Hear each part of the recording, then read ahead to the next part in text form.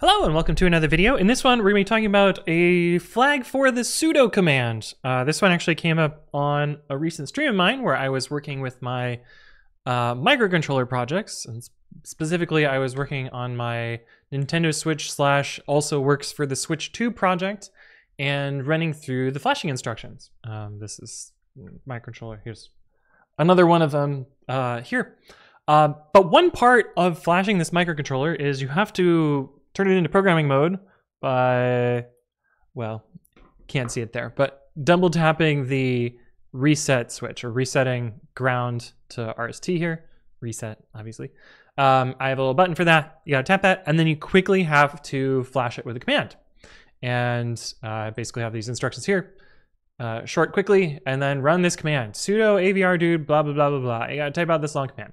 I always copy and paste it because uh, doing this on the fly is tricky. But the problem with this this uh, command is is it needs to run as root, and so this uh, shorting and flashing sequence gives you about a second ish to uh, to run this command. And if you miss that window, you're you're kind of you're kind of screwed. And unfortunately, sudo is going to ask you for your password. So you not only have to paste this command, press enter, notice that it's prompting you for your password, and type your password. A- anyway, I'm almost never going to hit that window. But fortunately, you do not have to do that. There is uh, this thing, which is the title of the video, called sudo dash dash validate. And the cool thing about sudo validate, uh oh, well, I guess I ran it before this video because I was making sure I knew I understood how it works. There's also the opposite, which is sudo dash k.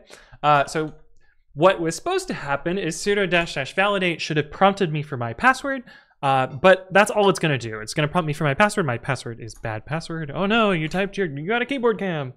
Um, and the, the great thing about this is now that I have run sudo validate, it's cached my credentials. And so for some period of time, I won't need to re-enter them. So, you know, if I sudo echo hi, I don't know why you would ever do that, but now it doesn't ask me for my password.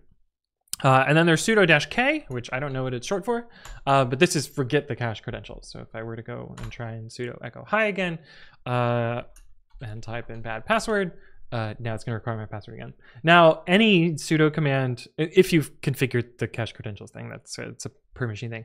Uh, in theory, technically, any command is going to cache the credentials, um, but sudo validate, you don't have to specify command. So you could instead do this if you wanted to instead get a little a little greeting message as you type your password, but this is what this was designed for. I guess we could man sudo and see what dash k is short for. Dash K, reset timestamp. Cool. With a lot of a lot of uh prose. But anyway. Uh, that's sudo validate. Quick and short video. Hopefully you found this useful. If there are additional things you would like me to explain, leave a comment below or reach out to me on the various platforms. But thank you all for watching, and I will see you in the next one. Button. Why is it not working?